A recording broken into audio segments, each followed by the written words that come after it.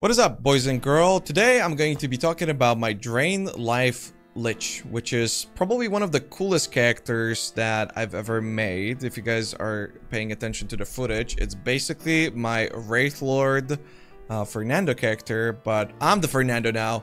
We shoot a million lasers, and we also are playing probably the most buggy build that I have ever experienced. Everything that you are seeing is low level, it is non-empowered monoliths. The character is only level 80. This is going to be a build diary. However, due to the bugs, this character is only doing 30% of its actual damage right now. And for that reason, I am telling you not to play this build. It does seem really good, and it does seem like it's gonna have a lot of potential, and I will continue to play it.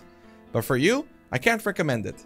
Uh, so, a couple of the things immediately is going to be that we are using the Stygian Coal.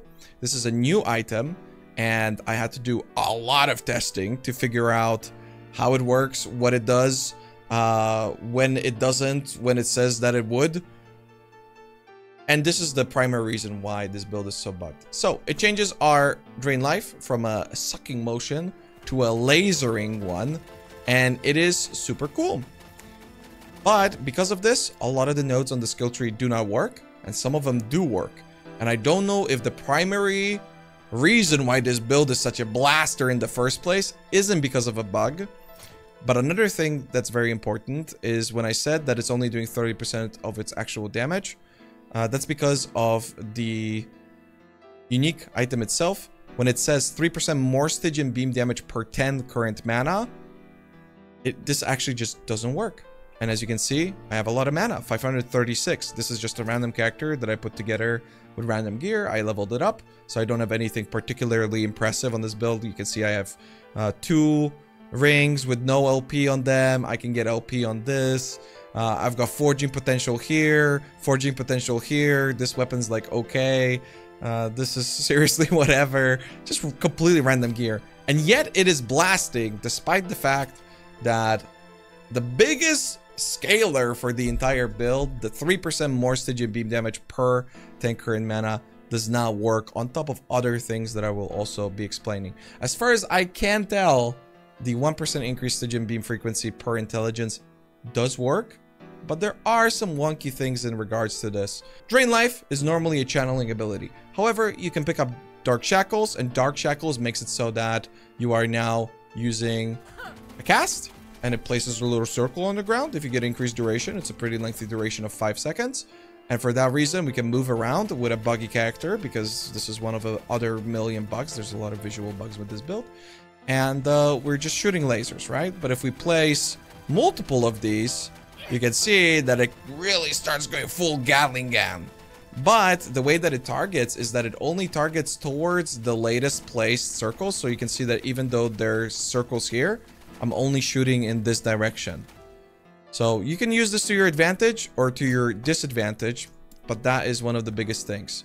And if you look at this also, and you pay close attention to it, it says per 10 current mana. So what's very important on this build is the actual mana sustain. And as you know, in Last Epoch, it's very difficult to get mana. The base mana regeneration is 8, and there's no way to scale the flat mana regeneration, so you have to do it on a percentage basis. But getting 100% increased mana regeneration will only double the amount of mana you're getting, and it takes a lot of effort uh, to get there in the first place.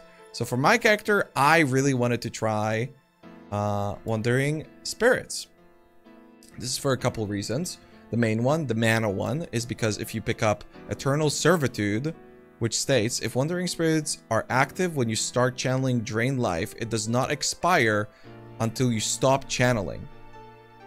Which is weird because we don't channel. And things like the 75% chance to ignite on a hit while channeling or the damned, it doesn't work. We're not channeling. I've tested it with some of the passive points like Doom Herald. Doesn't seem to work. We're not channeling. I've tested it with the ward retention, it doesn't work. But this does work, which kind of indicates that it's a bug. But is it, though? Because there are other things. Damage multipliers work, and Power Drain is good. However, Stupefy, as other people have reported, does not work. I didn't manage to uh, test it quite yet because there's been a lot to test. But this doesn't work. But then Lay Waste, which is just another multiplier node, because now we're no longer draining life or shooting bolts, so this is pretty much free damage. It does actually work. But then we pick up Virulence, which changes us from necrotic to poison damage. Only works sort of. Our pools are now green, which means that we're, we're necrotic, we're uh, poison. I'm using two Tongues of Aberrant Seer, which give me plus one to poison skills, which actually affects the drain life. But the damage of the beams doesn't change. They're still shooting necrotic beams. And the pool on the ground doesn't do anything. This is just a visual indicator that your bolts are going to be shooting there. So it's kind of a mess. And you might be wondering why am I picking this up then? It's for the plus levels. Essentially, I can pick this up for free for one point, and then I get the other one from the ring. We get plus one passive point, and it allows us for a much better skill tree because we don't have to travel through here, allowing us to get 20% damage. But why are the Wandering Spirits so important, you might ask? Because, yeah, the current mana needs to remain current, so you have to be topped off. It's not based off of your maximum mana, it's based off of this thing down here. And so, with Wandering Spirits, you can pick up Infusing Souls, which states you have a chance to gain mana whenever a spirit expires. This is incredible. Even though it's only a 15% chance, it's 12 mana and we are spawning a lot of spirits. We cannot pick up Song of the Lost Chantry because uh, I'm pretty sure that they a part of the reason why everything here is so bugged out is because they recently changed the way that this node works uh, so in the past you would be able to get like the frequency rate of the, the reveal rate and then like bug it out and everything. And I'm pretty sure that this whole build works because they changed this node and it broke a bunch of other things. But yeah, Wandering Spirits is incredible. Not only does it give us mana, it does a ton of damage. This is a poison build. Uh, we can get up to 800 poisons right now with borderline random gear. Uh, we can pick up a bunch of reveal frequency. This is going to help us with that. And we can convert it to poison and then utilize incredibly powerful things such as the newly added Warlock um, Poison Overload, which gives us 400% poison penetration, just by the way. It's uh, pretty incredible, and it does fix a lot of the single target issues because for poison builds, this ability only hits one target. It hits it frequently, but it only hits one. So with the Wandering Spirits that are always active, you can see that they clear really freaking well. And they seriously are always active. I mean, my hand's off the keyboard. I'm not doing anything. You can still see they're continuously spawning. As long as I am shooting beams at any point and with a little bit of time lag too, sometimes I can stop shooting for just a little bit, maybe half a second, and it'll continue to spawn the spirits. Um, it's pretty crazy. Everything comes together super nicely. But again, I don't know if it's intended. Um, we're only doing 30% of the damage that we should be doing. And uh, I don't even know if we would be able to sustain the mana in the first place if it wasn't for the fact that uh, this node works when technically it shouldn't because we are no longer channeling. And that is why I'm telling you guys not to play the build. I will put it in the description if you want to play it. I do think that, despite everything, it is pretty strong. The new poison is pretty good. We get to use Aura of Decay. I'm using Fume Weaver, which I'm gonna have to itemize around. I'm not even using Poison Bolt or anything like that. I just have AoE here, and because I don't have gear, I have to give resistances here. This is a Lich build, so we are using Reaper Form. We get the Poison Global Chance here, and we get the Duration over here.